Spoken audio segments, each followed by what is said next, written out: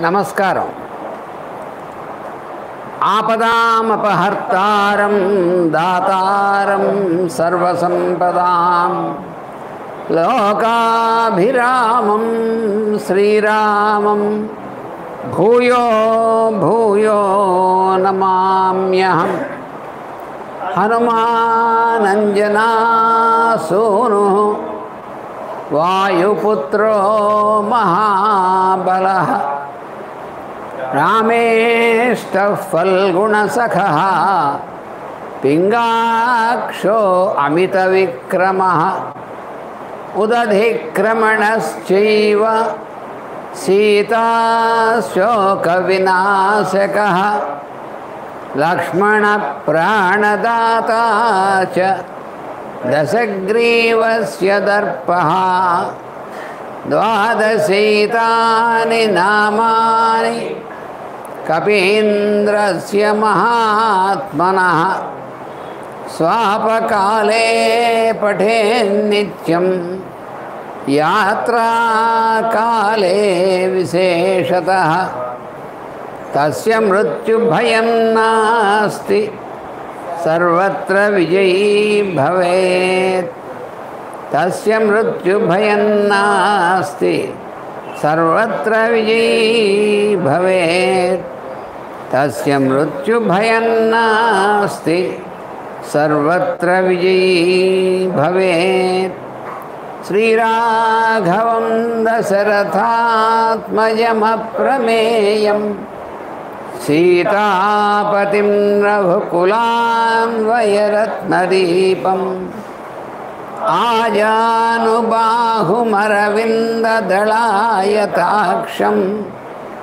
रामं निशाचरविनाशकरं नमामि।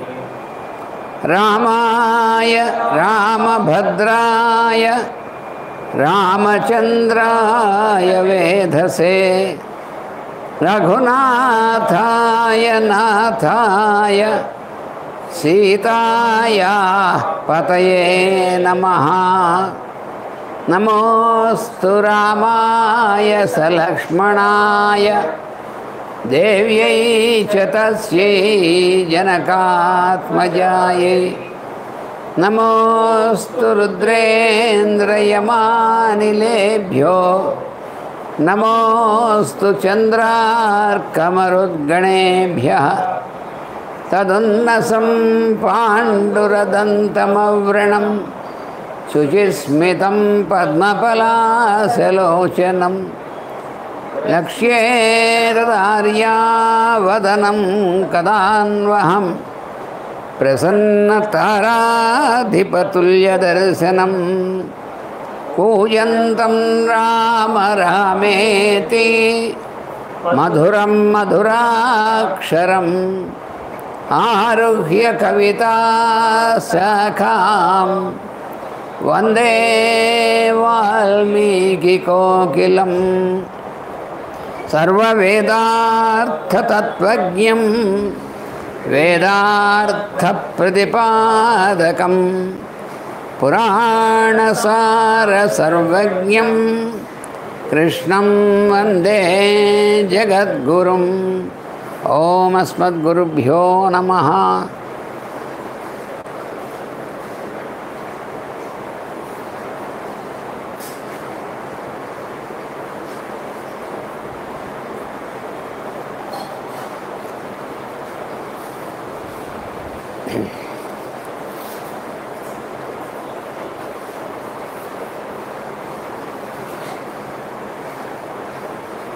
సీతామ్మవారి యొక్క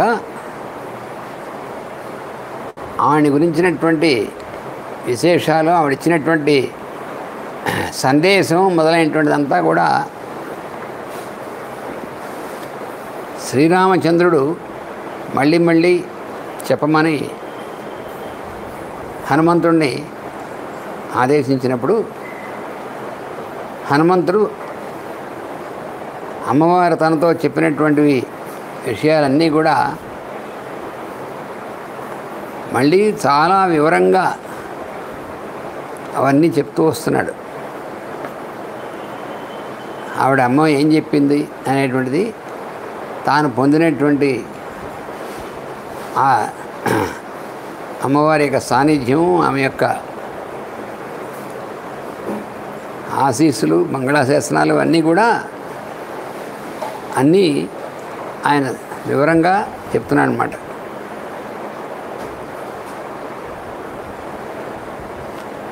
అందుకని ఆవిడ ఏమైంది ఏం చెప్పిందంటే బలైస్తు సంకులాం కృత్వా లంకాం పరబలార్దన మాం నయేద్ యది కాకుత్స తతస్తత్ తత్తస్య సదృశం భవేత్. తన యొక్క బలములతో అంటే వానర సైన్యములు వృక్ష సైన్యములు వీళ్ళందరితో కలిసి ఆ బలయిశ్చ అలాగా వచ్చినటువంటి వాడై అలాగే ఆ సైనికులతో ఆ బలంతో లంకాం సంకులాం కృత్వ లంకను పూర్తిగా ధ్వంసం చేసి రాక్షసులతో సహా పరబలార్ధనుడైనటువంటి అంటే శత్రువుల యొక్క బలాన్ని దమించేటువంటి వాడు. అటువంటి ఆయన కాకుత్సుడు అంటే రాముడు యది మాం నయేత్ నన్ను ఆ విధంగా తీసుకెళ్ళినట్టయితే తత్ తస్య సదృశం భవేత్. తత్ ఆ విధంగా తీసుకెళ్ళడం ఉందే అతనికి తగినట్లుగా ఉంటుంది. అది అమ్మవారు చెప్తుంది. రాముడికి తగినట్లుగా ఉండేటువంటి పని ఏంటంటే ఆ వానర సైన్యం వాళ్ళందరం కూడా వాళ్ళతో పాటుగా వచ్చి లంకలో ఉన్నటువంటి రావణాసురుడు మొదలైనటువంటి రాక్షసులందరినీ కూడా సంహరించి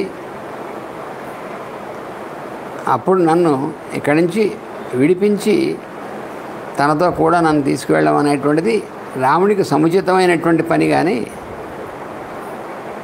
అలా కాకుండా వేరే విధంగా నేను ఇక్కడి నుంచి బయటికి వెళ్ళడం అనేటువంటిది అది రాముడి తగినట్టుగా ఉండదు. అందుకని ఆ రకంగా చేయాలి ఆయన.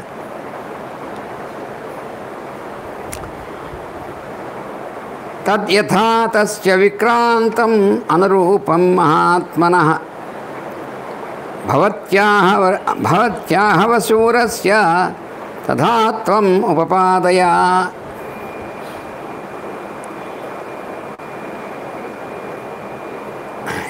యథా తస్య విక్రాంతం అనురూపం మహాత్మన.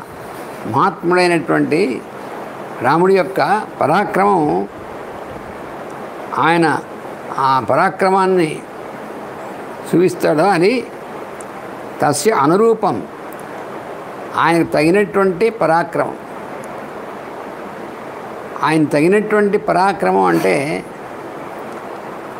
పరాక్రమం చూపించడం అంటే తన యొక్క బలాన్ని సాహసాన్ని వీటన్నిటిని కూడా చూపించి అక్కడ ఉన్నటువంటి శత్రువు అయినటువంటి వాళ్ళని చెండాడి వాళ్ళందరినీ కూడా సంహరించి చేయడం అనేటువంటిది మామూలుగానే. కానీ ఇక్కడ రాముడి విషయంలో ఏమిటంటే ఆయన మహా ఆత్మ మహా ఆత్ముడైనటువంటి వాడు. ఆయన యొక్క ఆయన యొక్క ఆత్మ అనేటువంటిది మహత్. అంటే ఆయన ఆకాశం ఎంతో ఆకాశమే రూప స్వరూపమైనటువంటి వాడు కదా ఆయన. అందుకని ఆయన యొక్క విక్రాంతం అంటే ఆయన యొక్క ఆయన చూపించేటువంటి విక్రమ పరాక్రమం అనేటువంటిది ఉంది ఆయనకి అనురూపం. అంటే ఆయన యొక్క ఆయన సర్వ వ్యాప వ్యాపకుడైనటువంటి వాడు అంతా వ్యాపించినటువంటి వాడు ఆకాశం లాంటి వాడు. అందుకని ఆయన పరాక్రమం అనేటువంటిది ఆయన ఎవరికి కూడా అంతుపట్టనటువంటిది. అదే మనం ఇంతకుముందు కూడా ఒకసారి చెప్పుకున్నాం. ఆయన విష్ణువు యొక్క పరమాత్మ యొక్క అవతారము. అందువల్ల ఆ విష్ణువు అనేటువంటి ఆయన యొక్క ఆయన త్రివిక్రముడు కదా విష్ణువు విష్ణు అనేటువంటి ఆయన. ఆ త్రివిక్రముడుగా ఆయన ఎలా లోకాలన్నింటినీ కూడా వ్యాపించి ఉన్నాడు అనేటువంటిది అది మన కొలత ఆయన మన కొలతలకు అందనటువంటిది అని వేదంలో చెప్పిన విష్ణు సూక్తంలో. పరోమాత్రయా తన్వావృధాన నతే మహిత్వం అన్వశ్నువంతి. ఉభయతే విద్మ రజసీ పృథివ్యా. విష్ణు దేవత్వం పరమత్స్య విత్సే అని ఋగ్వేదంలో ఉన్నటువంటి విష్ణు సూక్తంలో చెప్పబడినటువంటిది. విష్ణువుని సంబోధిస్తూ. పరోమాత్రయ తన్వా వృధాన నీ శరీరంతో నువ్వు అంతా కూడా వ్యాపించున్నాం వృద్ధి అలా వృద్ధి పొంది వ్యాపించున్నావు అంతా కూడా. ఎలాగంటే కొలతలకు అంద అందనటువంటి వాడై మాత్రయా పరహ అని. అలా నువ్వు ఉన్నటువంటి వాడిని నువ్వు మూడు లోకాలు వ్యాపించినటువంటి వాడివి అందులో ఈ భూలోకం అంటే ద్రవ్యమయమైనటువంటి లోకాన్ని తర్వాత భువర్లోకం అంటే శక్తిమయమైనటువంటి లోకాన్ని. సువర్లోకము అంటే కాంతిమయమైనటువంటి లోకాన్ని. ఈ మొత్తం అన్నిటినీ కూడా నువ్వు ఆక్రమించావు.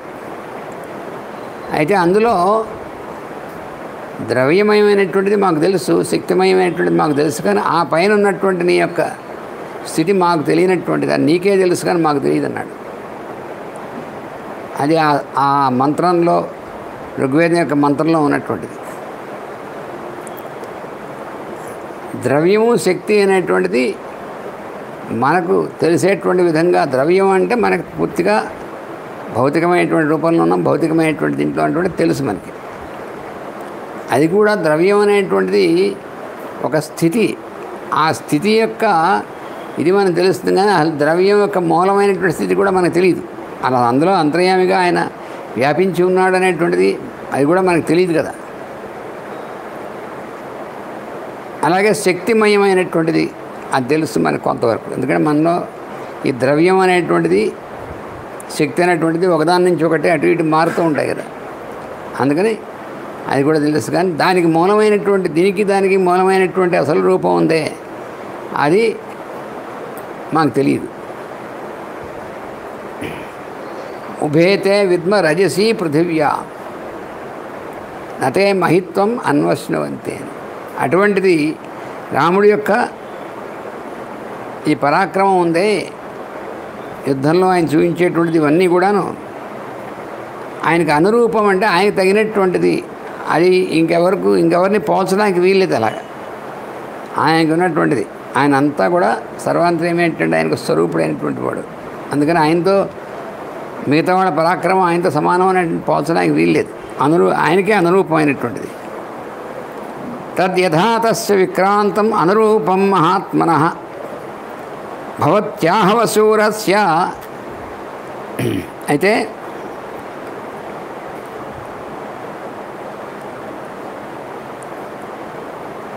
అది ఎలా అయితే ఉంటుందో ఆహవశూరుడు ఆయన యుద్ధంలో శౌర్యం చూపించేటువంటి వాడు కదా అలాగా భవతి ఎలా ఉంటుందో అలాగా తథాత్వం ఎలా అయితే ఉంటుందో అలాగ నువ్వు ఉపపాదయ నువ్వు ఉపాయం చెయ్యి అంటే రాముడు ఇక్కడ చేరుకోవడం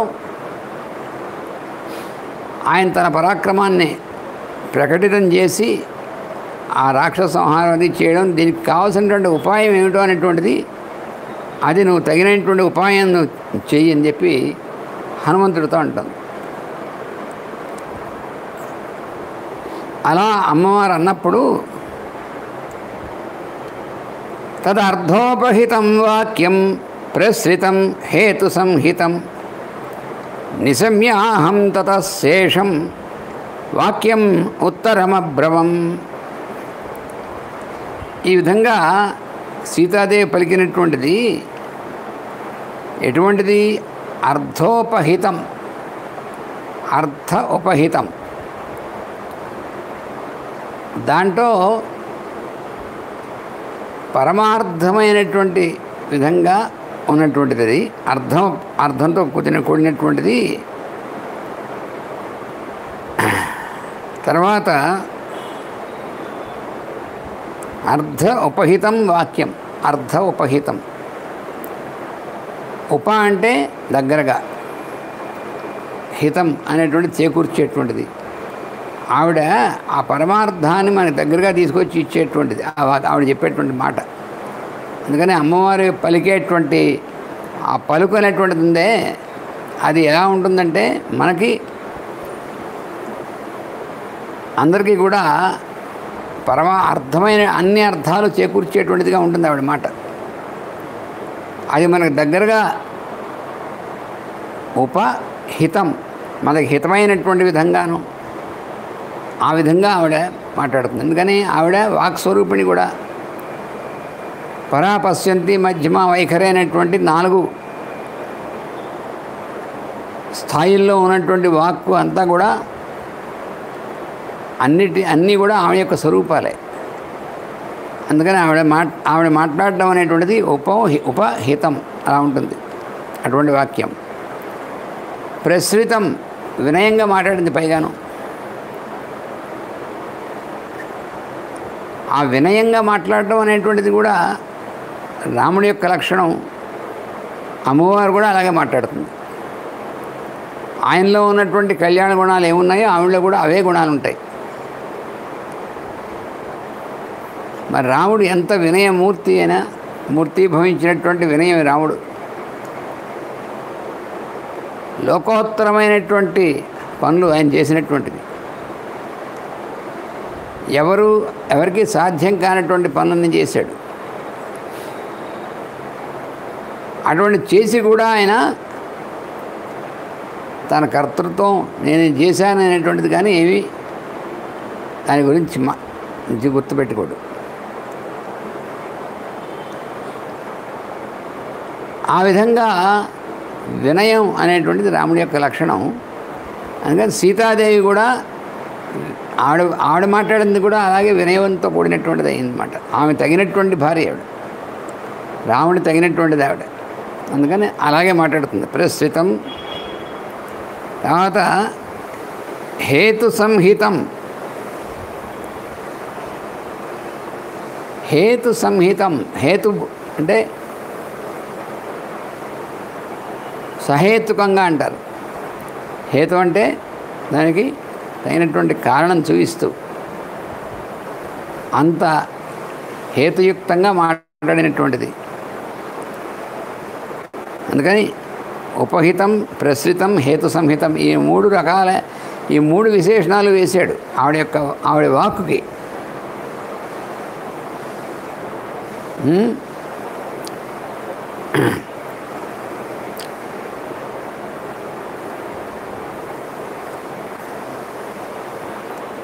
అర్థోపహితం ప్రసృతం హేతు సంహితం. ఈ మూడు రకాలుగా ఉంటుంది ఆవిడ చెప్పినటువంటి మాట్లాడినటువంటి వాక్కు. దాన్ని నేను విన్నాను. విని వాక్యం ఉత్తరం అభ్రమం ఈ ప్ర ఈ నేను ఆవిడతో ఏం చెప్పానంటే దేవి హరియక్ష సైన్యానాం ఈశ్వర ప్లవతాం వర సుగ్రీవ సత్వసంపన్న స్వరద్ధే కృత నిశ్చయ ఇప్పుడు అమ్మవారు వినయంతో మాట్లాడింది.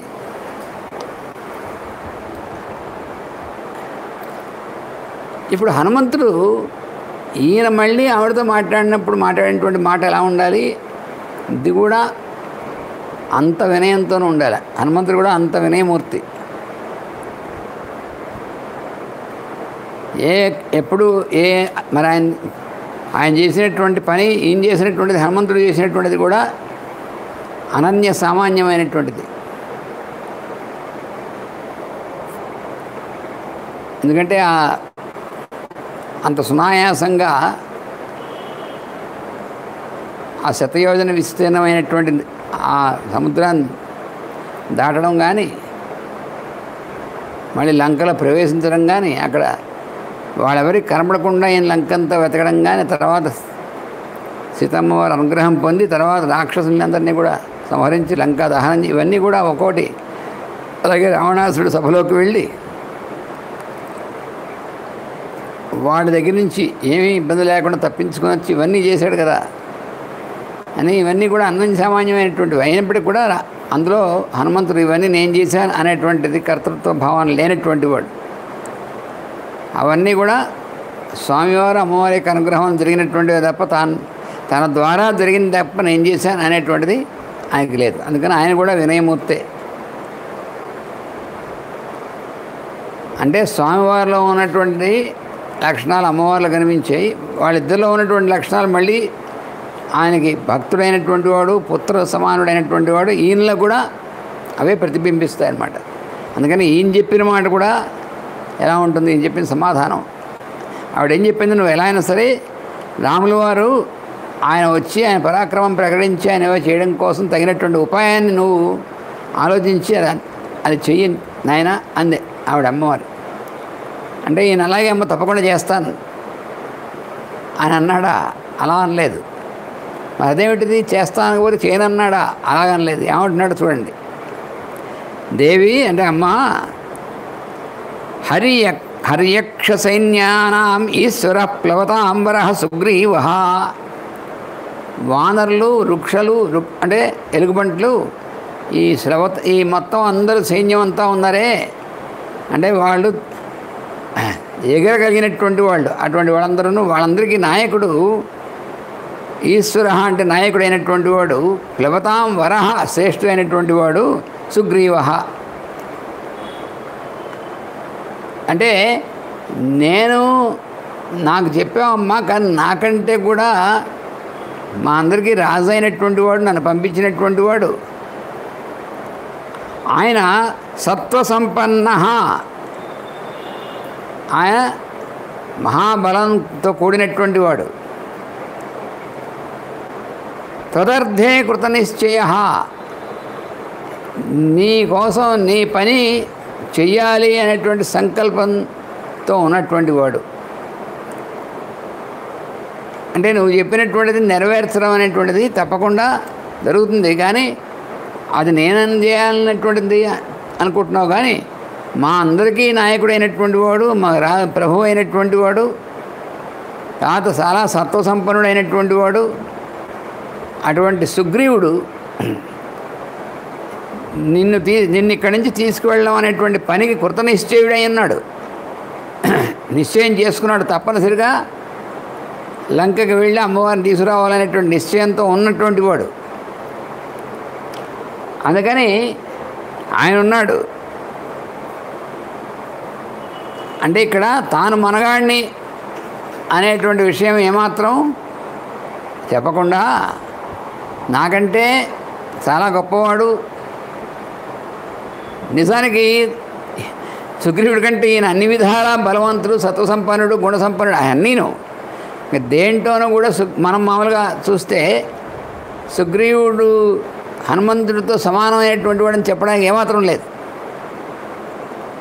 కానీ హనుమంతుడి దృష్టిలో తాను ఆయన అమాత్యుడు ఆయన తనకు రాజు ఆయన శ్రేష్ఠుడు ఆయన బలవంతుడు ఆయన ఎందు ఎంత గౌరవం అనేటువంటిది తర్వాత వినయం అనేటువంటిది అదంతా మాట్లాడుతున్నాడు హనుమంతుడు. అంటే హనుమంతుడి యొక్క లక్షణం చూడండి. అది హనుమంతుడిలో ఉన్నటువంటి విశేషం. అందుకని అమ్మ చెప్పినటువంటి దానికి ఆయన ఇచ్చినటువంటి సమాధానం ఏదైతే ఉందో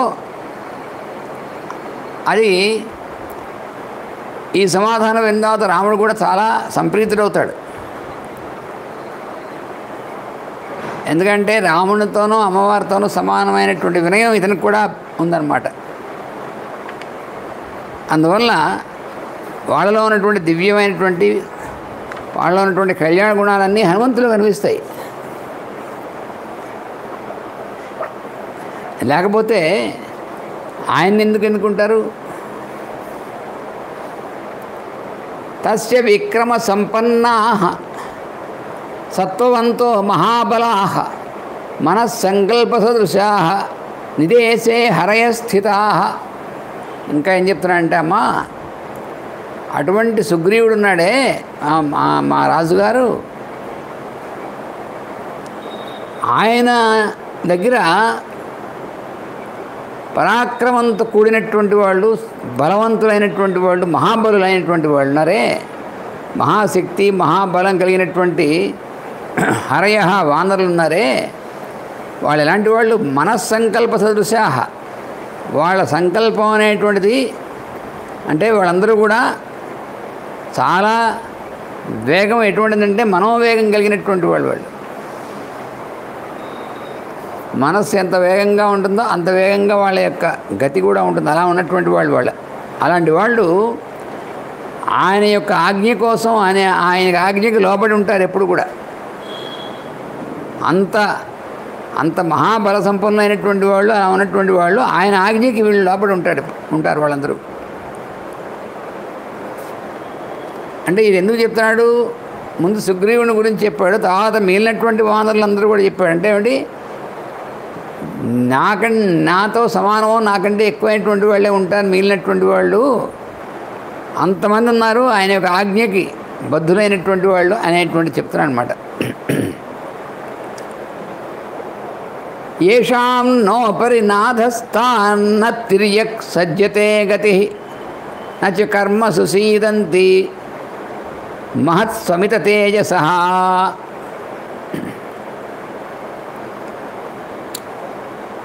వాళ్ళు ఎటువంటి వాళ్ళు అంటే ఏషాం ఎవరి యొక్కైతే నా ఉపరి నా అధస్థ నా తిర్యక్ సజ్జతే గతి.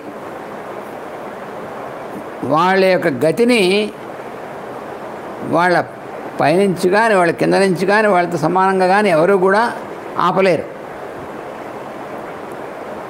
ఎక్కడ ఆగదు. వాళ్ళ యొక్క వాళ్ళ యొక్క వేగం అనేటువంటిది వాళ్ళ యొక్క గతి అనేటువంటిది ఎవరూ దానికి అవరోధం కలిగించలేరు. ఎవరు ఆపలేరు. ఎవరి చేత ఆపడానికి వీలైనటువంటి విధంగా ఉన్నటువంటి వాళ్ళు వాళ్ళందరూ కూడా.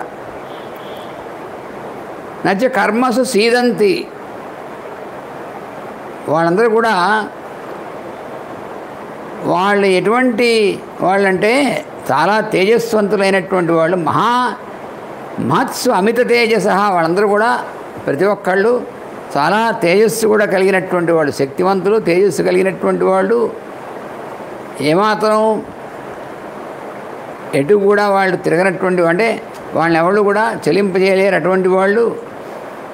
వాళ్ళు పెద్ద పెద్ద ఇలాంటి పనులు అనేటువంటివి వాటిల్లో కార్యాల్లో వాళ్ళు ఎప్పుడు కూడా నా సీదంతి ఆ పనులు చేయడంలో వాళ్ళు నశించిపోవడం అనేది జరగదు. అంటే కృషించిపోవడం నశించిపోవడం అనేటువంటి లక్షణాలు లేనటువంటి వాళ్ళు అన్నమాట మాత్రమైనటువంటి కార్యాలు చేయడంలో వాళ్ళంతటి వాళ్ళు వాళ్ళందరూ కూడా. అంటే దీని ఉద్దేశం ఏమిటిగా చెప్పడంలో అమ్మా నేను ఒక్కడనే కాదు నేను ఇలా వచ్చాను ఎగిరికంటే నేనొక్కడనే కాదు వాళ్ళందరూ ప్రతి ఒక్కళ్ళు కూడా ఇంతకంటే బాగా చేసినటువంటి వాళ్ళే.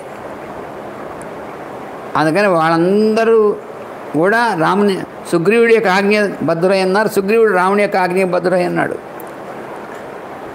అందుకని అల్టిమేట్గా ఏమిటి? ఈ రావడం అనేటువంటి ఉపాయం ఏం చేయాలో అని చెప్పవలసింది రాముడే అని చెప్తున్నాడు అనమాట ఇక్కడ. ఆ ఉపాయం నువ్వు చెయ్యి నాయన అని ఇవిడంది కదా. అందరికీ ఆయనేనమ్మా. ఆయనే చేయించేది. నడిపించేది చేయించేది అంతా కూడా ఆయనే అని చెప్తున్నాడు అనమాట బల సంయుతై ప్రదక్షిణీకృత భూమిర్ వాయుమార్గానుసారిభి. వాళ్ళందరూ వాళ్ళు చేసినటువంటి పని ఏమిటంటే నువ్వు ఎక్కడున్నావో వెతికి రమ్మని చెప్పి అందరినీ అన్ని దిక్కులు పంపించాడు మా రాజుగారు. వాళ్ళందరూ ఆకాశ మార్గంలో అన్ని మార్గాల్లో కూడా వాళ్ళు భూమి మొత్తం అన్ని ఉన్నటువంటి భూమి అంతటిని కూడా వెతికొచ్చారు. అందుకని వాళ్ళందరూ కూడా జల మార్గంలో ఆకాశ మార్గంలో వాయు వాయు మార్గం అన్నింటినీ కూడా అన్ని మార్గాల్లో కలిసి వాళ్ళు చాలా బలవంతులు కాబట్టి పృథ్వీ మొత్తం తిరిగి ప్రదక్షిణ చేసి వచ్చారు ఎక్కడా కూడా వదిలిపెట్టకుండా అంతా వెతికొచ్చారు. మనం చూసాం కదా మనం కిష్కిందకాండలో సుగ్రీవుడు వాళ్ళందరినీ కూడా ఏ దిక్కులో ఎవరు వెళ్ళాలి అన్నీ పంపించి వాళ్ళందరినీ ఆ దిక్కులో ఎలా చూడాలి అన్నీ మొత్తం ఏ దిక్కులో ఎక్కడ ఏముంటుందో అన్నీ కూడా చెప్పేశాడు కదా ఆయన. అలా అవన్నీ వెతికొచ్చినటువంటి వాళ్ళు వాళ్ళు. ఇంకా ఏమంటున్నాడు చూడండి ఆయన ఎంతగా ఎంత వినయశీలుడు. మద్విశిష్టాశ్చ తుల్యాశ్చ సంతి తత్ర వనౌకస. అమ్మ అక్కడ ఉన్నటువంటి వానరులందరూ వాళ్ళు మద్విశిష్టా నాకంటే విశిష్టమైనటువంటి వాళ్ళు చాలామంది ఉన్నారు. నాకంటే మించినటువంటి వాళ్ళు విశిష్టమైనటువంటి వాళ్ళు చాలామంది ఉన్నారు. అలాగే నాతో సమానమైన వాళ్ళు చాలామంది ఉన్నారు. అక్కడ ఉన్నటువంటి వాళ్ళు. మత్త ప్రత్యవ దాని మాట హనుమంతుడు చెప్పేటువంటిది. నాకంటే మించినటువంటి వాళ్ళు చాలామంది ఉన్నారు. నాతో సమానమైనటువంటి వాళ్ళు చాలామంది ఉన్నారు. కానీ నాకంటే తక్కువ స్థాయిలో ఉన్నటువంటి వాళ్ళు ఎవరు లేరంటున్నాడు. అలా అలా ఎవరన్నా అనుకుంటారు అసలు మామూలుగాను? చిన్న ఒక చిన్న పని చేస్తేనే దాన్ని చాలా గొప్పగా ప్రచారం చేసుకుని ఆ ప్రచారం అందరికంటే నేను ఎంత గొప్పగా ఇది చేశాను అనేటువంటి ప్రచారం చేసుకునేటువంటి వాళ్ళుగా ఉంటారు. కానీ నాకంటే తక్కువ స్థాయిలో ఉన్నవాళ్ళు ఎవరు లేరు. అని చెప్పగలిగినటువంటి వాడు అంతటి అసలు ఆయనతో సమానమైన వాళ్ళు ఎవరు లేరు నిజానికి. కానీ నాకంటే తక్కువైనటువంటి వాళ్ళు ఎవరు లేరు అంటున్నాడు. అది ఆ- ఆ హనుమంతు యొక్క తత్వం అదనమాట అదంతా కూడా అంటే ఏమిటి తాను రాముని సేవకుణ్ణి అలాగే సుగ్రీవుడి యొక్క అమాత్యుణ్ణి అనేటువంటి తప్ప తను మహానుభావుణ్ణి తాను వీరుణ్ణి సూర్యుణ్ణి ఇలాంటి అసలు దాని గురించి ఒక ఇదేం లేదు ఆయనకి. తాననేటువంటిది ఏం లేదు. అందుకని మత్త ప్రత్యవర కశ్చిన్నాస్తి సుగ్రీవ సన్నిధౌ. సుగ్రీవుడి దగ్గర ఉన్నటువంటి వానరులందరిలోనూ నాకంటే తక్కువ స్థాయి అయినటువంటి వాడు ఒకడు కూడా లేడంటున్నాడు.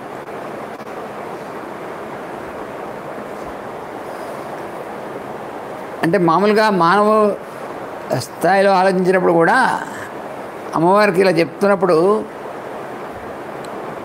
ఇతనే ఇంత అద్భుతమైనటువంటి పరాక్రమం ఉన్నటువంటి వాడైతే ఎందుకంటే తక్కువ వాళ్ళు లేరు మిగిలినటువంటి కూడా ఇంత సమానం ఎక్కువ వస్తున్నారంటే ఆవిడకి ఇంకా ఆవిడకి ఆ నిర్భయమైనటువంటి అంటే ఆవిడకేం భయం లేదు కానీ మామూలుగా ఆలోచిస్తే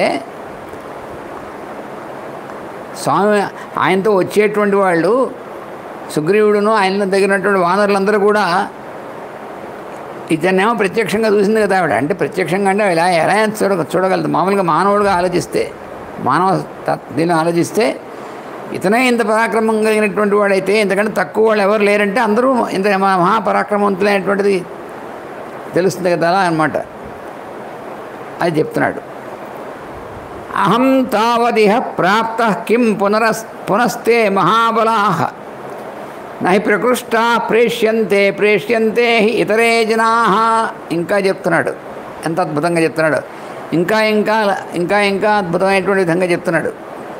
ఇంకా ఏం చెప్పాడంటే అమ్మవారితో? అమ్మా అహం తావత్ ఇహ ప్రాప్త. నేను ఆ విధంగా ఇక్కడికి ఇక్కడ చేరుకున్నాను. అంటే సముద్రం దాటి అవరోధాలు దాటి అందరినీ చేసిన ఇక్కడ చేరుకున్నాను కదా. కిం పునస్తే ఇంక వాళ్ళు వాళ్ళెందుకు చేరుకోలేరు? నేనే చేరుకుంటే. అంటే ఏమన్నాడు? నాకంటే తక్కువ వాళ్ళు ఎవరు లేరన్నాడు కదా ముందు.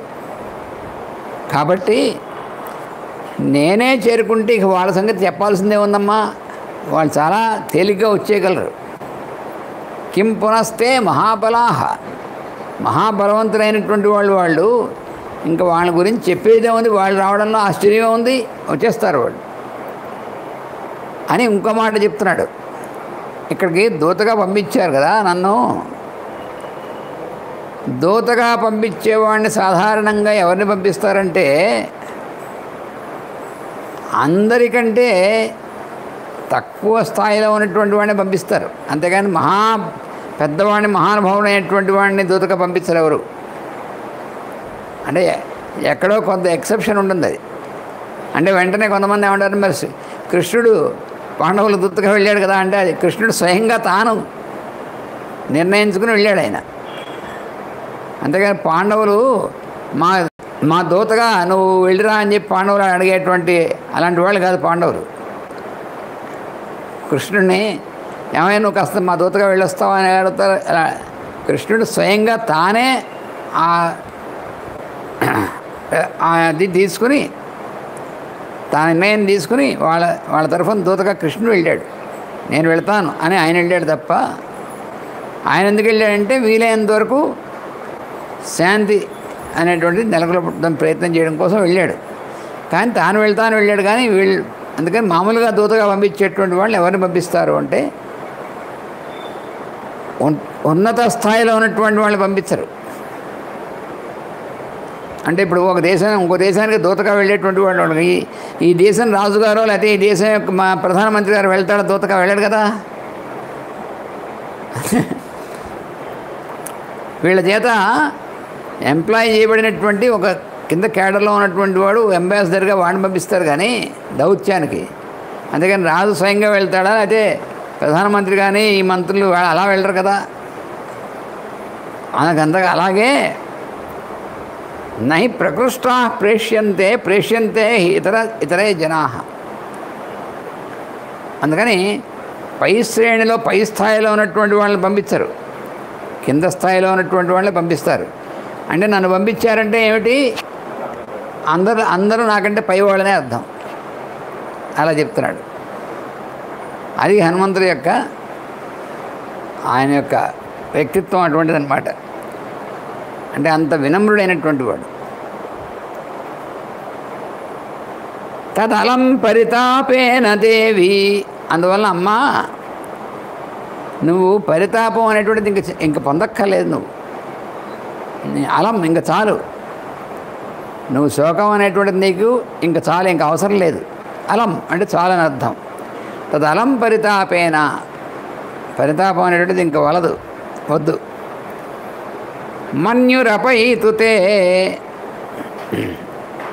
నీ మనస్సులో ఉన్నటువంటి ఈ దుఃఖం అనేటువంటిది ఉందే దాన్ని దూరం చేసేసి నిన్ను నీ మనసుని ప్రజ్వలింపజేస్తున్నటువంటిది కష్టపెడుతున్నటువంటి దుఃఖం అంతా ఉంది దాన్ని దూరం చేసేయమ్మా. ఇంకేం ఆలోచించక్కర్లేదు. ఏకోత్పాతేన తే లంకాం ఏష్యంతి హరియూధపాహ ఆ వానర నాయకులందరూ ఉన్నారే. సైన్యం సేనా నాయకులందరూ కూడా ఒక్క గంతులో అక్కడి నుంచి ఇక్కడికి ఇక్కడికి వచ్చి వాడగలరు. ఈ నూరు యోజనాలు ఉన్నటువంటి సముద్రాన్ని అక్కడ ఒక అక్కడ నుంచి ఇక్కడ ఒక గంతు వేశారంటే ఇక్కడికి వచ్చేస్తారు. అలాంటి వాళ్ళు వాళ్ళందరూ కూడా.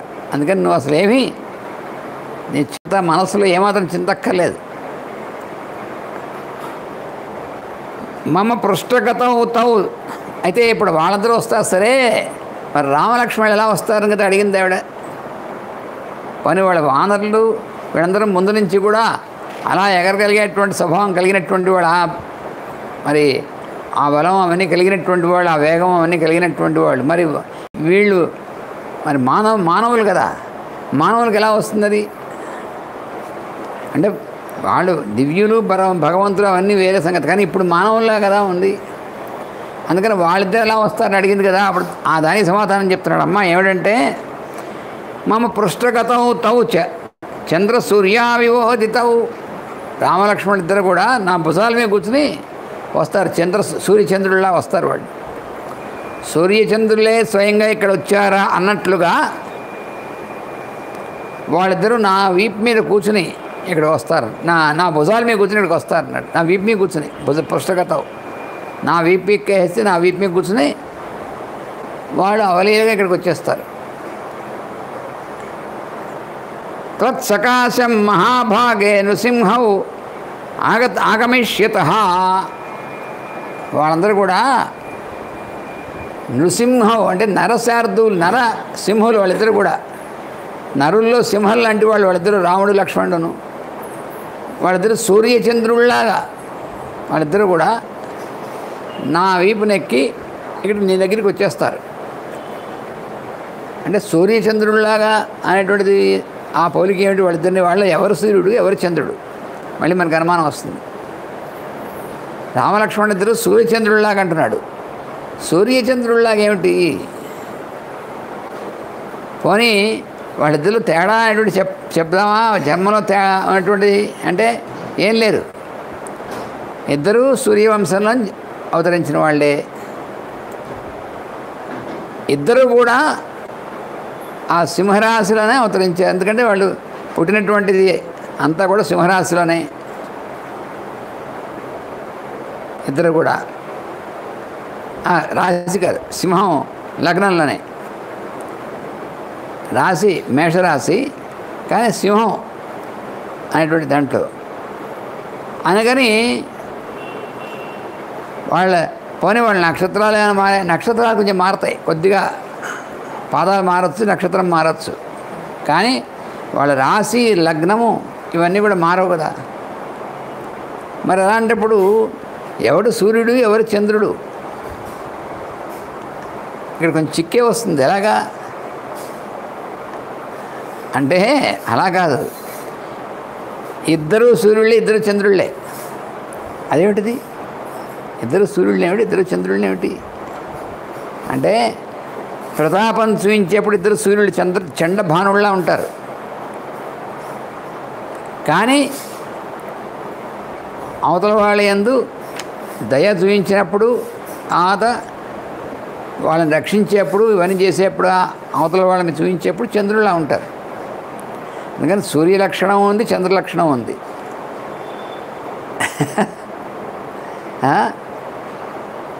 సూర్యుడి యొక్క లక్షణం ఉంది చంద్రుడి యొక్క లక్షణం రెండూ ఉన్నాయి ఆయన వాళ్ళకి.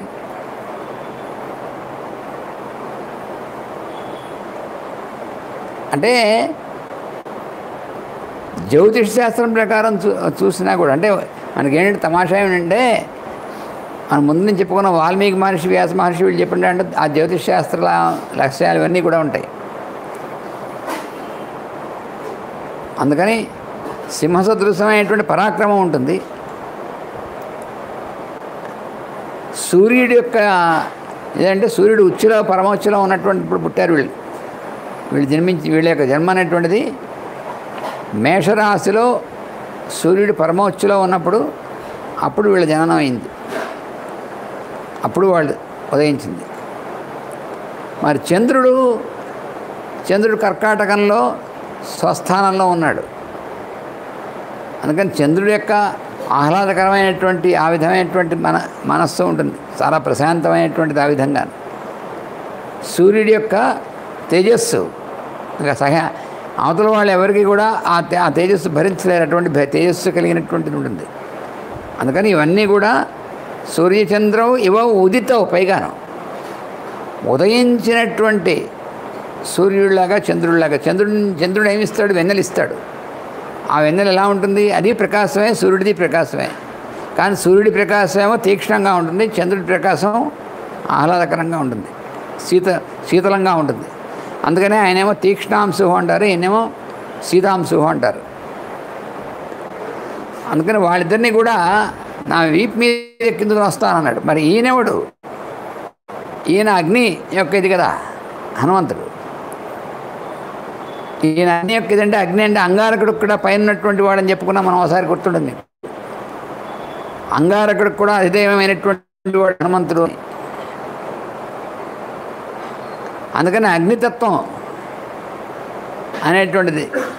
ఆ అగ్ని అనేటువంటి స్వరూపుడైనటువంటి ఈయన్ని ఈయన యొక్క వీపు మీద ఎక్కించుకుని ఈయన తీసుకొస్తాడు మడవాళ్ళని వాళ్ళని. అందుకని ఈ రకంగా వస్తారమ్మా వాళ్ళు వానరులు వాళ్ళందరూ వాళ్ళందరూ అక్కడ ఒకసారి ఎగి దూకితే ఇక్కడికి వస్తారు. వీళ్ళని నేను తీసుకొస్తాను నా వీపు మీదకి వస్తారు. అందుకని అరిఘ్నం సింహసంకాశం క్షిప్రం ద్రశ్యసి రాఘవం. నువ్వు రావుణ్ణి చాలా త్వరలోనే చూస్తావు. ఎలా చూస్తావు? అరిఘ్నం శత్రువుని సంహరించేటువంటి వాడు సింహ సంకాశం సింహంలాగా క్షిప్రం ద్రక్ష్యసి వెంటనే చూస్తావు.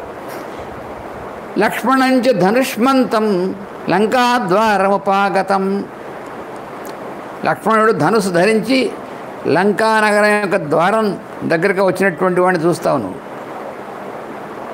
అలాగే నఖ దన్ నఖ దంష్ట్రాయుధాన్ వీరాన్ సింహశార్దూల విక్రమాన్. వాళ్ళిద్దరితో కలిసి వచ్చేటువంటి వాళ్ళు ఎవరు? వానరులు. అలాగే వృక్షములు ఎలుగుబంట్లు అయినటువంటి వాళ్ళు. వానరాన్ వారణేంద్రాభాన్ క్షిప్రం ద్రక్ష్యసి సంగతాన్. వాళ్ళు వానరులు ఎలా ఉంటారు? ఒక్కొక్కళ్ళు పెద్ద పెద్ద మదపుటేనువుల్లా ఉంటారు వాళ్ళు. చాలా పెద్ద శరీరాలతో మ- మదపుటేనువుల్లాగా అలా బలవంతం బలం కలిగినటువంటి వాళ్ళు వారుడు వారణేంద్రాభాన్ అటువంటి దాంతో సమానంగా ఉంటారు వాళ్ళు. ఒక పెద్ద ఏనుగుల్లాగా. అలా ఉన్నటువంటి వానరులు. వాళ్ళ ఆయుధాలు ఏమిటి? నఖములు అంటే గోల్డ్ దంస్ట్రా అంటే కోరలు. ఇవి ఆయుధాలుగా కలిగినటువంటి వాళ్ళు వానరులు ఎలుగుబంటి వీళ్ళందరూ కూడా. అటువంటి వాళ్ళందరూ కూడా రామలక్ష్మణులతో కూడా వాళ్ళు వస్తారు. అందుకని వానరాన్ వానరేణ వారణేంద్రాభాన్ క్షిప్రం ద్రక్ష్యసి సంగతాన్. వాళ్ళందరూ కలిసి రాముడు రామలక్ష్మణులతో వస్తారు. నువ్వు వెంటనే చూస్తావు. ఇంకా దగ్గరలోనే చూస్తావు. అందుకని నువ్వేమీ శోకించవలదు అన్నాడు.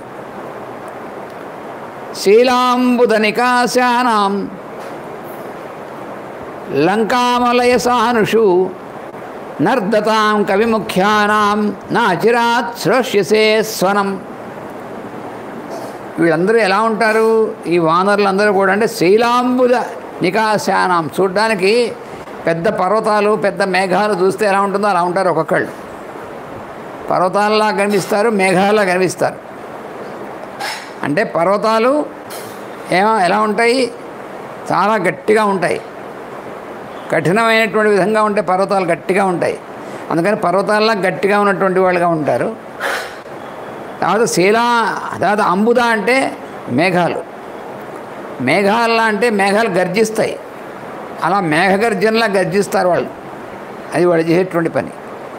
అలాగే మేఘాల నుంచి పిడుగులు పడతాయి. అలాగే వీళ్ళు కూడా శత్రువుల మీద పిడుగుల్లా పడతారు. భయంకరమైనటువంటి విధంగా శత్రు సంహారం చేస్తారు వీళ్ళు. అందుకని మే- శానాం పర్వతాలను మేఘాలతో సమానంగా కనిపించేటువంటి వాళ్ళు వాళ్ళు లంకా మలయసానుషు. ఈ లంకలో ఉన్నటువంటి పర్వతములు ఏవైతే ఉన్నాయో వాటి యొక్క శి- శిఖరాల మీద కనిపిస్తారు వాళ్ళు త్వరగా నీకు. అక్కడ ఏం చేస్తారు వాళ్ళు? నర్దతాం. వాటి మీద వాటి మీద గెంతుతూ ఉంటారు వాళ్ళు. లంక మీద దిగి లంక పర్వతాల మీద వాళ్ళు నర్దతాం నృత్యం చేస్తారు వాళ్ళు. కపిముఖ్యానాం అటువంటి వాళ్ళు వాళ్ళు చేసినటువంటి స్వరం ఉందే గర్జన. దాన్ని నువ్వు వింటావు. ఎప్పుడు? అతి త్వరలోనే.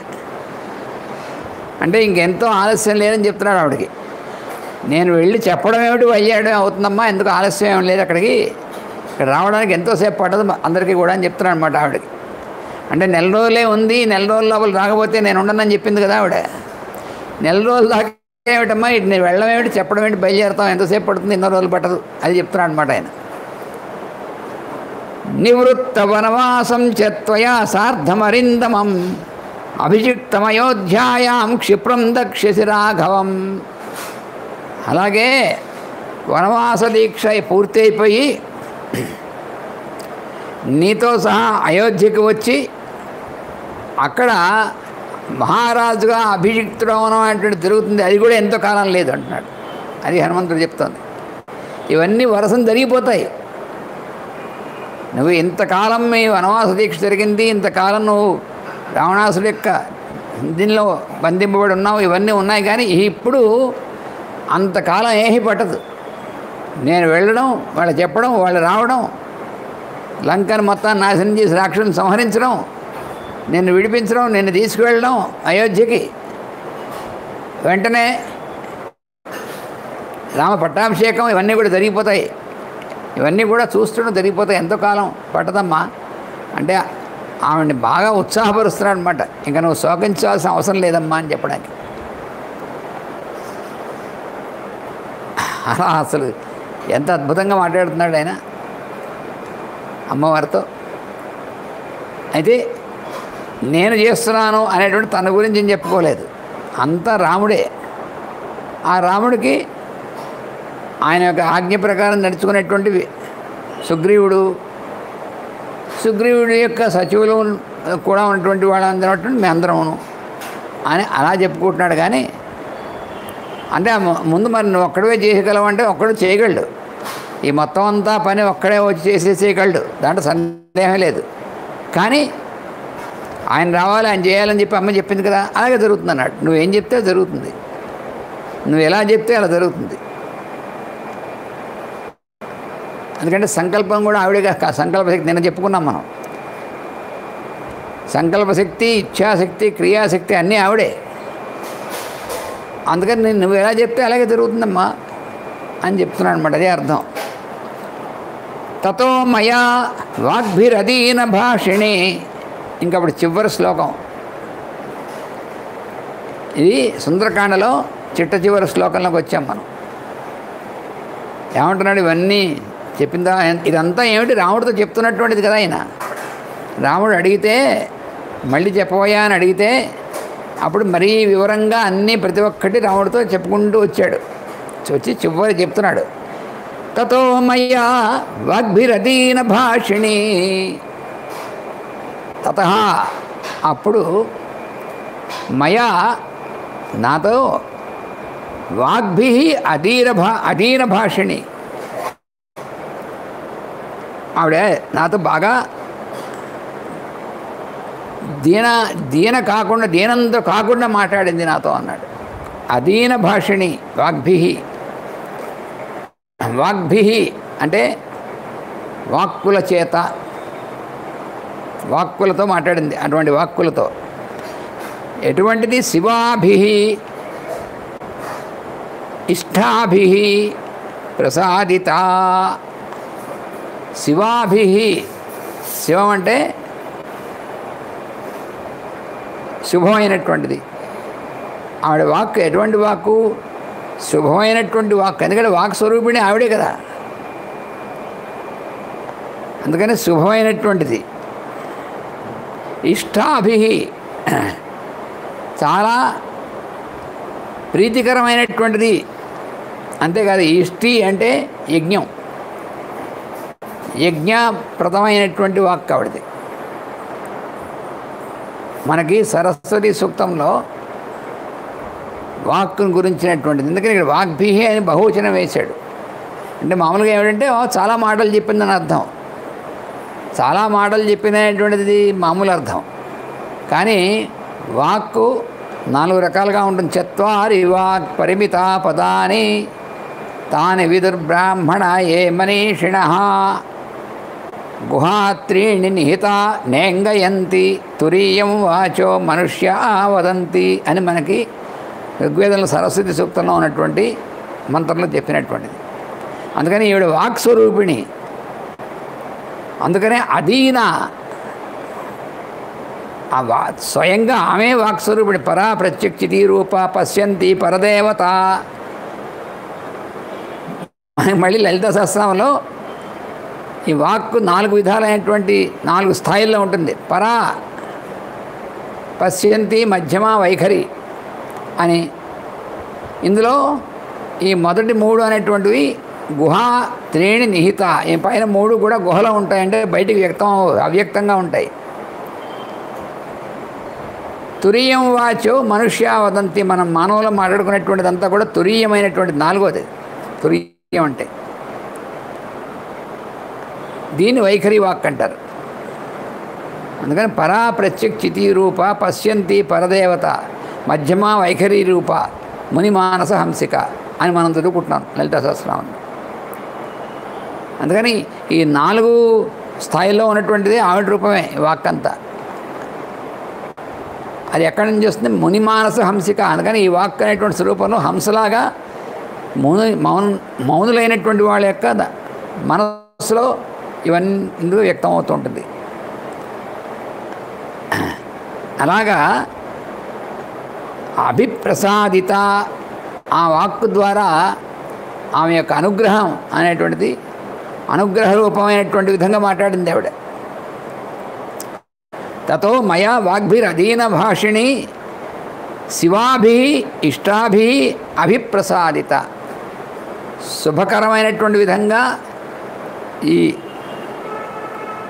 చాలా చక్కగా ఇష్టమైనటువంటి విధంగా మామూలు అభిప్రసాదిత అందరికీ కూడా ఆమె యొక్క అనుగ్రహం ఆమె యొక్క ప్రసాదం అంటే ఆమె యొక్క అనుగ్రహం అనేటువంటిది అందరికీ కూడా అందేట్టుగా మాట్లాడుతుందన్నమాట. అంటే ఏమిటి? ఆవిడ చెప్పినటువంటిది ఇక్కడ ఉన్నటువంటి వానరులకి అందరికి కూడా ఆమె యొక్క ఆమె యొక్క ఆశీస్సులు అనేటువంటివి కలిగాయి అనమాట అది హనుమంతుడు చెప్పడం. హనుమంతుడితో మాట్లాడిందంటే నాతో మాట్లాడిందంటే ముందే ముందే చెప్పాడుగా నేను వాళ్ళందరితో ఒక వాళ్ళందరిలో ఒకడని చెప్పాడు కదా ఈయన. అందుకని ఈయనకు ఈయనకు వచ్చినటువంటి ఆశీస్సులు అందరికీ వస్తాయన్నమాట. అది హనుమంతుడు చెప్పడం అనేటువంటిది. ఉవాహ శాంతి మమ మైథిలాత్మజ. అందుకని అందరికీ కూడా శాంతి మంగళం వచనం అనేటువంటిది అలా చెప్పింది ఆవిడ. తవాతి శోకేన తథాతి పీడిత. అయితే నువ్వు ఇక్కడ ఎలా అయితే శోకంతో పీడింపబడుతూ ఉన్నావో ఆవిడ గురించి ఆవిడ కూడా నీ గురించి శోకంతో పీడింపబడుతూ ఉంది. నీ శోకంతో సమానమైనటువంటి దంగానే శోకింపడు పీడింపబడుతూ ఉంది ఆవిడ. అటువంటి ఆవిడ మంగళమయమైనటువంటిది. ఇక్కడ ఏమిటంటే ఆవిడ యొక్క మాటలో ఎప్పుడు దీనత్వం లేదనటువంటిది ఆవిడ. అయితే ఇక్కడ ఆవిడ మా- ఆవిడ అలా మాట్లాడింది ఆవిడకి శాంతిని కలి ఆవిడ నేను ఈ విధంగా సాంత్వనమైనటువంటి వచనాలు నేను చెప్పాను. ఆవిడకి ఓదార్పుకోకూడనటువంటి వచనాలు ఏం చెప్పాడు. అందరికీ మంగళకరమైనటువంటి విధంగా ఆవిడ మాట్లాడింది. చూసారు తమాషా ఇక్కడ? ఆవిడ శోకంతో ఉన్నటువంటిది ఎందుకని శోకించొద్దమ్మా ఇంకా అక్కర్లేదని చెప్పి సాంత్వన వచనాలతో ఏం చెప్పాడు? అంటే మామూలుగా ధైర్యం చెప్తున్నట్టుగా. కానీ అందరికీ మంగళకరమైనటువంటి విధంగా ఆ వాక్ స్వరూపిణైనటువంటి ఆవిడ అందరికీ కూడా ఆశీస్సులు ఇచ్చింది. వాళ్ళందరితో కూడా వాళ్ళందరితో పాటు మనకి ఆశీస్సులు ఇచ్చింది. అదే సుందరకాండ చదువుకునేటువంటి వాళ్ళందరికీ కూడా అంత అటువంటి విధంగా ఆశీస్సులు ఇచ్చినటువంటిది. అలాంటి సుందరకాండ అందుకని సుందరకాండ యొక్క విశిష్టత అటువంటిది. ఈ సుందరకాండ సుందరం అనేటువంటిది సుందరం అనేటువంటిది ఎంత ఏమిటి సుందరం? సుందరకాండ అనేటువంటిది ఈ సుందరము అనేటువంటిది ఏమిటో మనం అంతా ఇవాళ డెబ్భైవ రోజు మనకి. సుందరకాండ ప్రారంభించుకొని డెబ్భైవ రోజు ఈ సుందరకాండ సంపూర్ణం అయినటువంటి రోజు ఈ డెబ్భై రోజుల్లోనూ సుందరకాండ అనేటువంటి పేర్లు ఉన్నటువంటి సుందరం అంటే ఏమిటో అనేటువంటిది మనం అందరం అనుభూతం అనుభవించాం. అనుభవిస్తూనే ఉన్నాం. ఏమిటి సుందరం అనేటువంటిది అని? ఈ ఏమిటి సుందరం అనేటువంటి దాన్ని ఇందాక అనుకోకుండా ఈ మనం ఇవాళ ఈ సత్సంగం ప్రారంభానికి ముందు ఒక చిన్న దీనిగా వచ్చింది. అంటే మన పూజలైనటువంటి శ్రీ శ్రీ సీతారామ యతందుల వారు సుందరం సుందరం ఏమి సుందరం కృష్ణ అనేటువంటి ఒక పాట రాశారు. అనుకోకుండా ఆ విధంగానే సుందరం సుందరం ఏమి సుందరం రామ మౌని వాల్మీకి లిఖిత సుందరకాండ సుందరం.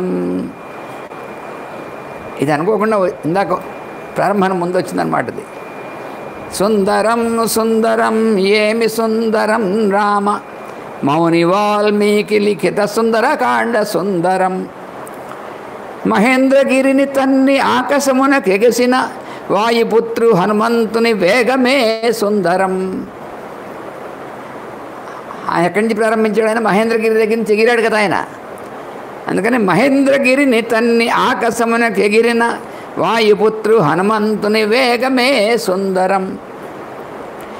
మైనాకునతిక్రమించి సురసమాయన భే సురసమాయ భేదించి సింహికను కడతేర్చి నూరు యోజనములు దాటి లంకిణిని జయించి లంకను ప్రవేశించి లంకనెల్ల చుట్టిన హనుమంతు హనుమ బలమే సుందరం. ఇందులో ఏరేరు సుందరాలైనటువంటిది ఆ హనుమంతుడి యొక్క బలం సుందరమైనటువంటిది. మైన అతిక్రమించి సురస్తమాయ భేదించి సింహికను కడతేర్చి నూరు యోజనములు దాటి లంకిణిని జయించి లంకను ప్రవేశించి లంకనెల్ల చుట్టిన హనుమ బలమే సుందరం. సుందరం సుందరం ఏమి సుందరం? రామ మౌని వాల్మీకి లిఖిత సుందరకాండ సుందరం. అశోక వనమునందు శింసిపామూలమందు హనుమకు దర్శనమొసగిన జనకనందిన సుందరం. అసలు సుందరం ఆవిడ అమ్మవారు. అశోక వనమునందు శింసిపామూలమందు హనుమకు దర్శనమొసగిన జనకనందియ సుందరం. రామముద్రిక నామ నామ రామముద్రిక నామెనొసగి చూడామణి నందుకొని రాక్షసుల సంహరించి రావణుని సభను చేరి రాముని సందేశం అందించి లంకనెల్ల దహించి అమ్మ సెలవు కొని సాగరమును తిరిగి దాటి వానరులతో మధువనమున మధునెల్లతను త్రావి రాముని సన్నిధి చేరి సూచితి సీతయని గెలిపిన వాయుసుతు హనుమంతుని భక్తి ఎంత సుందరం. ఈయన భక్తి హయ్యెస్ట్ కదా మరి అంతే అందుకని అశోకవనమునందు సింసిపామూల మందు హనుమకు దర్శనమొసగిన జనకనందిని సుందరం రామముద్రిక నామికొసగి చూడామణి నందుకొని రాక్షసుల సంహరించి రావణుని సభను చేరి రాముని సందేశము నందించి లంకనెల్ల దహించి అమ్మ సెలవు గైకొని సాగరం అతి సాగరము తిరిగి దాటి వానరులతో మధువనమున మధువనెల్ల త్రావి రాముని సన్నిధి చేరి చూచితి సీతయని తెలిపిన వాయుసుతు హనుమంతుని భక్తి ఎంత సుందరం. సుందరం సుందరం ఏమి సుందరం రామ? మౌని వాల్మీకి లిఖిత సుందర కాండమి సుందరం. అని ఆ విధంగా ఈ సుందరకాండ అనేటువంటిది సర్వోత్కృష్టమైనటువంటిది. అసలు రామాయణం మొత్తం అంతే వాల్మీకి రామాయణం. అందులో సుందరకాండ ఎన్ని విశేషాలతో హనుమంతుడి యొక్క అమ్మవారు స్వామి అమ్మవారు హనుమంతుడు. ఇందులో స్వామి బ్యాక్గ్రౌండ్లో అలా చేస్తూ ఉంటారు ఆయన. ప్రత్యక్షంగా మనకి అమ్మవారు హనుమంతుడు వాళ్ళిద్దరు సుందరకాండలో మనకి. అందుకని ఈ చివరి శ్లోకంలో చూసారా? తతో మయా వాగ్భిరదీన భాషిణి అని తతో అని చెప్పి చివరి శ్లోకం తీసుకొచ్చారు. సుందరకాండలో మొట్టమొదటి శ్లోకం తతో రావణ నీతాయా సీతాయా శత్రుకరుశన. తతో అనేటువంటి దాని ప్రారంభమైంది. తత అన్నమాట. తతో అంటే తత అని. తతో రావణనీతాయ సీతాయ శత్రుకర్శన. ఏష పదమన్వేష్టం చారణా చిరటే పథి అని చెప్పి మొట్టమొదటి శ్లోకం. అది తత అని ప్రారంభమైంది.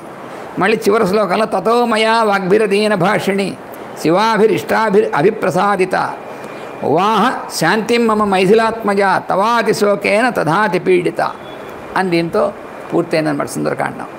ఈ విధంగా సుందరకాండ అనేటువంటి మహావైభవం అనేటువంటిది మనందరినీ కూడా తన ఆ లక్ష్మణుడి యొక్క సీత లక్ లక్ష్మణ సమేతమైనటువంటి రాముడు మనందుకనే లక్ష్మణీతనుల వారు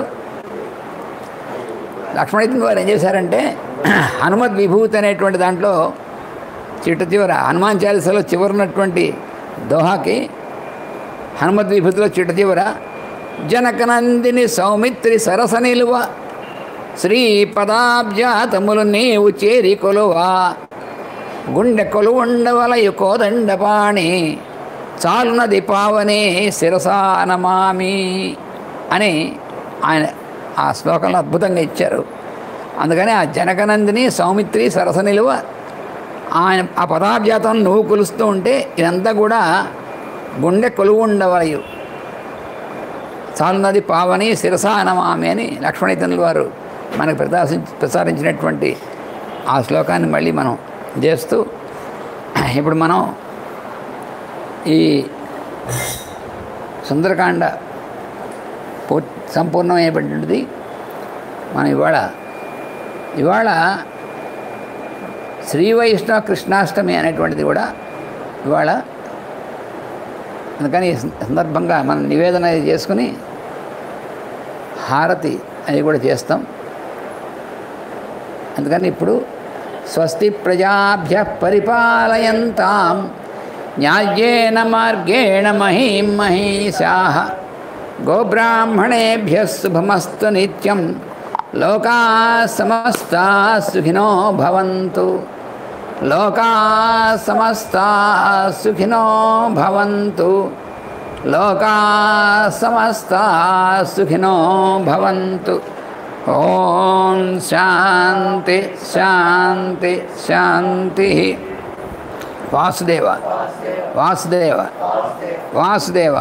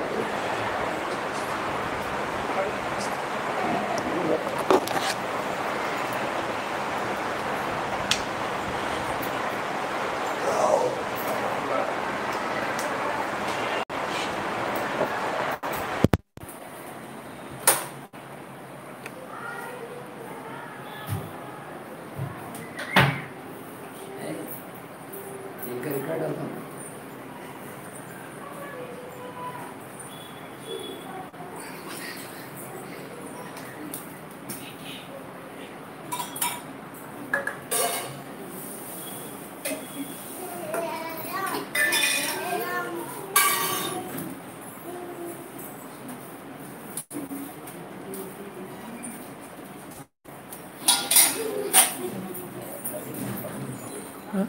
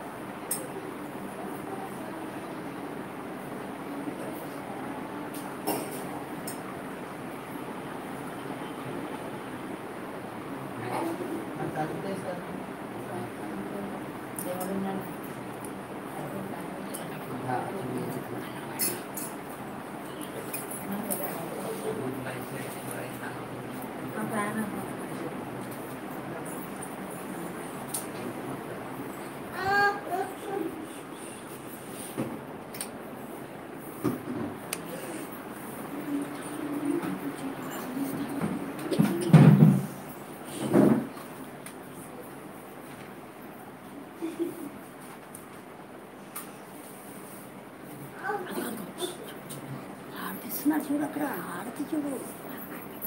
아기 아기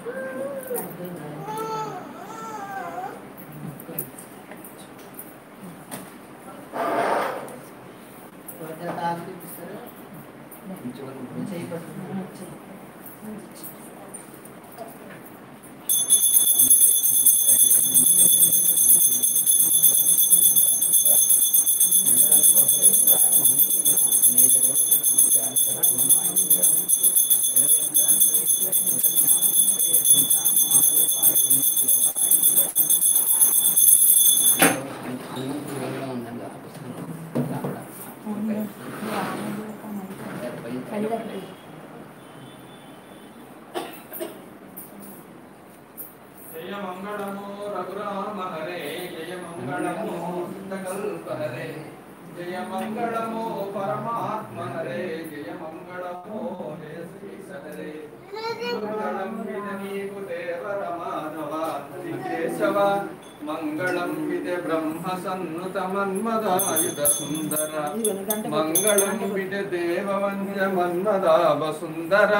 మంగళంబు మంగళంబు మంగళంబు నిత్యము జయ జయ వాతాత్మజ మంగళముల్ జయ జయ సీతార్తిహర హనుమ జయ జయ భక్తామర భూమురహ జయ జయ జయ జయ శుభమంగళముల్. అతులిత బలసాగర మంగళముల్ శతజన మంగళముల్ ప్రతిసుత మారణ మంగళముల్ శతమఖముఖ సన్నుత మంగళముల్. మంగళంబు రామదూత మహిత భక్తి సాగర మంగళంబు జానకీ రమాత సర్వ సర్వభంజన. మంగళంబు దేవవంజ మన్మదావ సుందర మంగళంబు మంగళంబు మంగళంబు నిత్యము వాస్తవ ప్రచోదకా శ్రీకృష్ణమాచార్య మంగళం శ్రీవేదర్శకా జగద్గురువారికా శ్రీకృష్ణమాచార్య జయ మంగళం జ్ఞానస్వరూపా జ్ఞానస్వరూపా శ్రీకృష్ణమాచార్య జయ మంగళం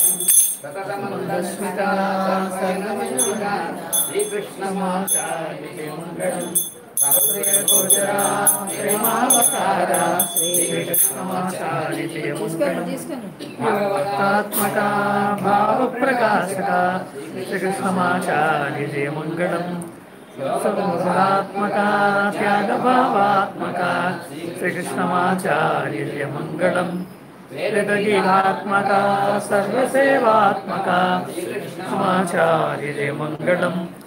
శ్రీకృష్ణమాచార్య సంస్థాపక లోక సంరక్షక శ్రీకృష్ణమాచార్య మంగళం.